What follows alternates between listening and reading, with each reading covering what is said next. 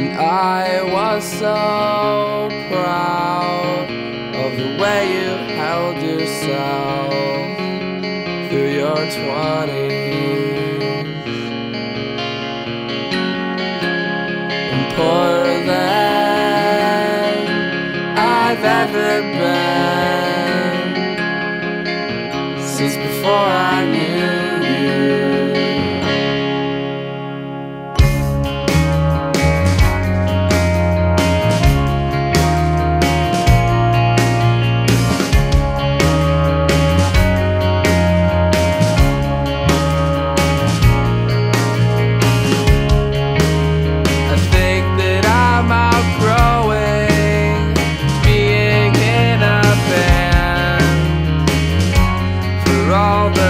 trouble.